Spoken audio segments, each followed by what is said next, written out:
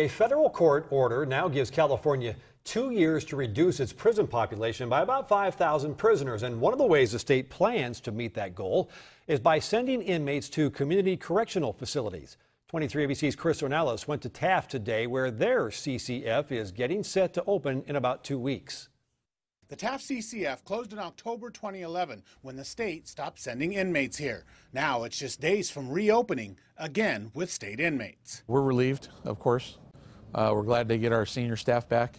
Uh, we're glad to be able to employ some more people from the within the county. One of the first things you notice when you come out here to the Taft CCF is the parking lot is full. It was empty for almost two years, but now is full with the cars of CCF employees. They are in current training.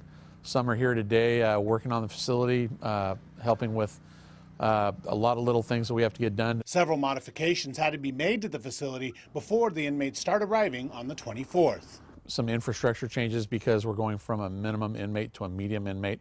The most obvious is the addition of a second fence uh, with a microwave intrusion alarm. Some of the staff will be made up of officers who worked here before. The rest of the 70 employees are new hires. We had about 16 people who have returned and uh, most of those folks are filling our senior position. The federal court ruling announced yesterday has set a strict timeline for the state to reduce its inmate population. It has no impact on us. We're helping them to relieve their overcrowding. State prison officials say they will rely on CCFs to house some inmates. 512 inmates to start with. We're hoping to increase the contract to 600 once we get open. Cris Ornelas, 23 ABC. The state is using a long list of strategies to meet that 2016 deadline. For a full list, just go to our website, turn to 23.com.